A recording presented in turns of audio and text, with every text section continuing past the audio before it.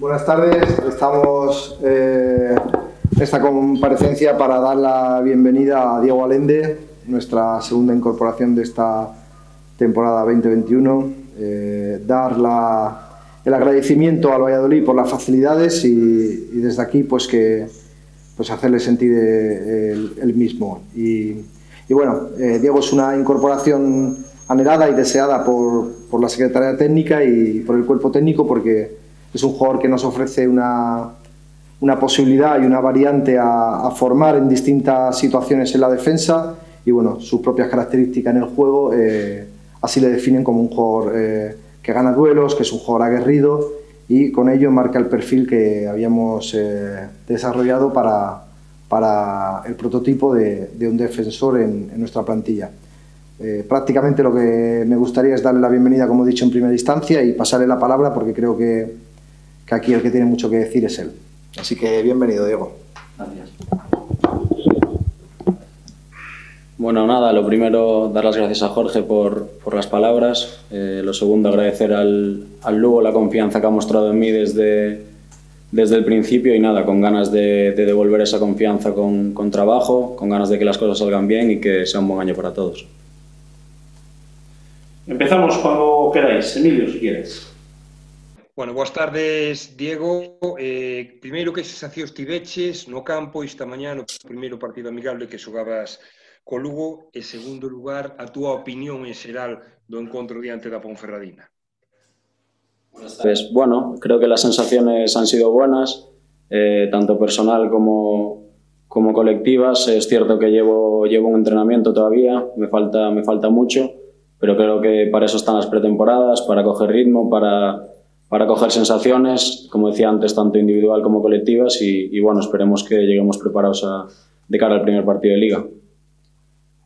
A decisión de vir ao Lugo, desechaches outras ofertas, eh, costouche moito traballo decidirte a vir aquí ou non? No, la verdad que no. Yo creo que el Lugo apostó por mí desde el principio y así me lo hizo ver. Y creo que cuando un club eh, está interesado en ti, te eh, apuesta por ti, pues bueno, yo creo que cero dudas y muy agradecido, como dije antes.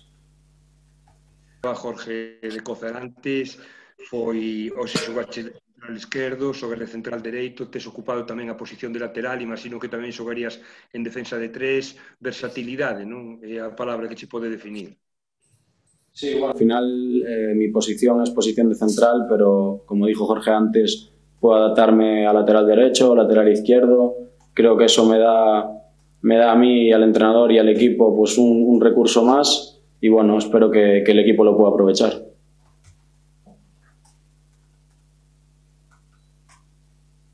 Seguimos.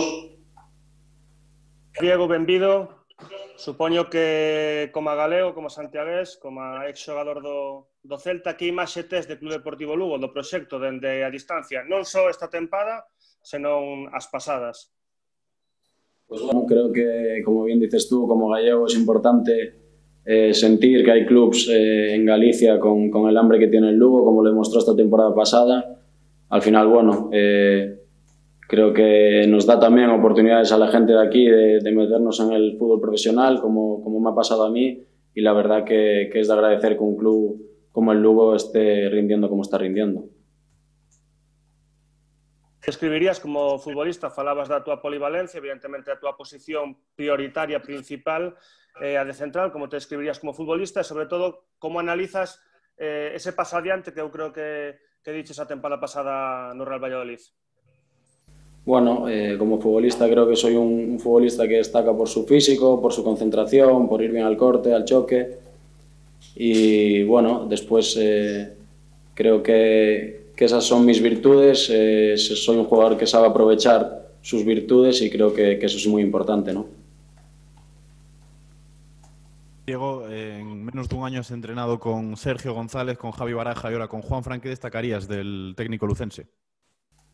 Bueno, es cierto que, que, lo conozco poco todavía, ¿no? Pero las veces que he coincidido con él, que he hablado con él, es un, un entrenador muy cercano, un entrenador que, que intenta darte confianza. Eh, es cierto que, que, no permite que te relajes, que siempre quiere que estés al máximo. Y yo creo que al final esa combinación de ambas, de ambas cosas son los que, los que da resultado, ¿no? Quique o con el ACEN eh, te han recomendado venir a Lugo o, directamente la negociación ha sido con, Jorge y has, te has decidido por Lugo por la cercanía y quizá por el sentimiento gallego?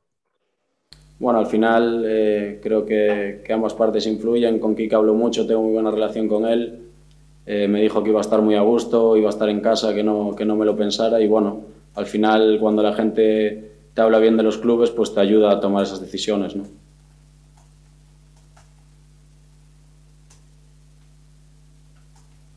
Seguimos. Sí, Emilio.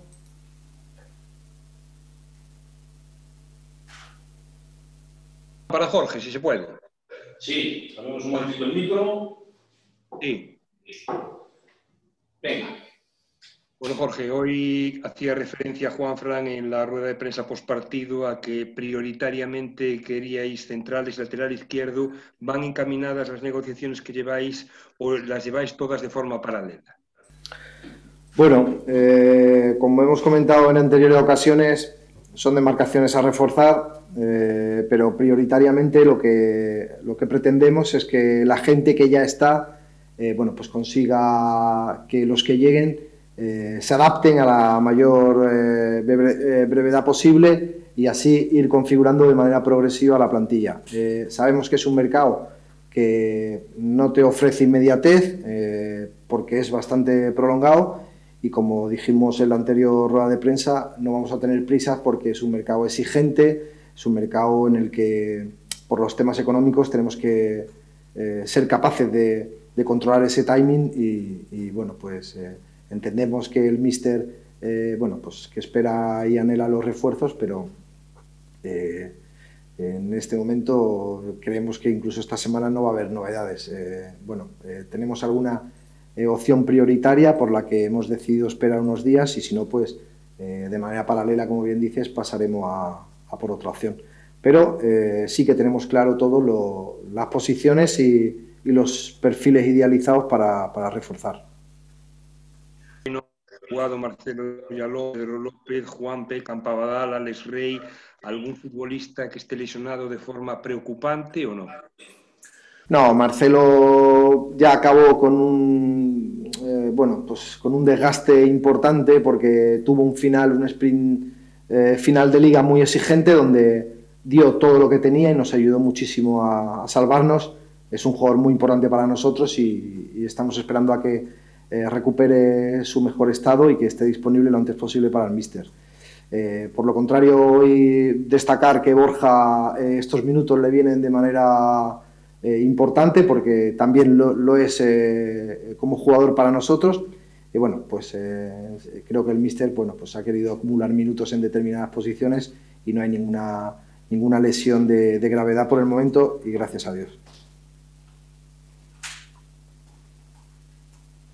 Se rumorea que se aleja quizá la opción de Juan Hernández. No, sé qué nos puedes contar acerca de esa posibilidad, porque Juan Fran lleva eh, varios días pidiendo la llegada del, extremo del, del, Celta de Vigo. Hay situaciones que son imposibles eh, en lo económico y esta es una de ellas, sin lugar a dudas.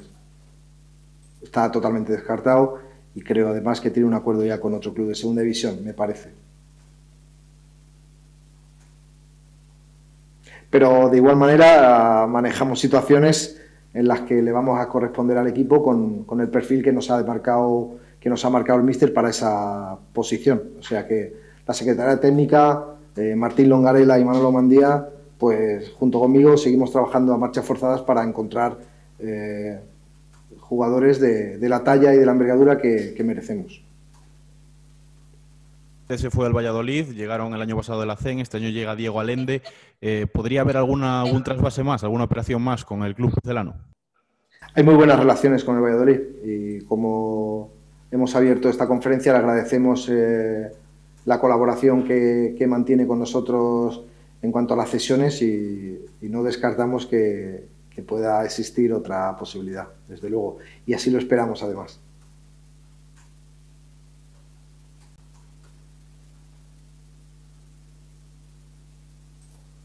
Sí, chicos. Última por mi parte, ¿cómo es la, situación de, de Borja Sanemeterio, que vuelve, vuelve tras cesión, hoy compitió. Eh, el otro día Juan Fran hablaba en rueda de prensa sobre la búsqueda, la posible búsqueda de un segundo lateral derecho después de la renovación de Eduard. ¿Cómo es la situación hoy día de, de Borja Sanemeterio? Borja es un jugador de la primera plantilla a todos los efectos. El año pasado estuvo cedido en el, en el Baleares, eh, hizo una muy buena temporada, siendo un jugador muy importante para, para el Atlético Baleares, eh, incluso en el playoff. Y bueno, pues eh, de momento lo único que esperamos de él es un buen rendimiento y a partir de ahí, pues que, que todo salga lo mejor esperado. desconocemos si el jugador va a salir o no de momento, porque es una cosa en la que Juan Fran también tiene mucho que decir. Por el momento creo que el, jugador está dando todo lo que tiene, hoy ha hecho creo que dentro de sus posibilidades y de lo exigido que ha sido el partido por el calor y, y, bueno, por, eh, porque también el chico llegó un poco, eh, me parece que tuvo una lesión en el último partido del playoff y bueno, pues eh, ya está en condiciones de poder competir y ayudar al grupo y para nosotros es un jugador más que tiene licencia para, para dar todo lo que tiene y que, y que así el míster lo entiende. De hecho, hoy ha jugado un partido bastante completo. Perdona, Jorge, eh, hoy creo que han dado, es mi opinión, un paso adelante jugadores como Escobar y como Chiqui, que han hecho una gran actuación. ¿Podrían salir o tenéis planteado que puedan salir cedidos o Juan Fran cuenta con ellos para la primera plantilla?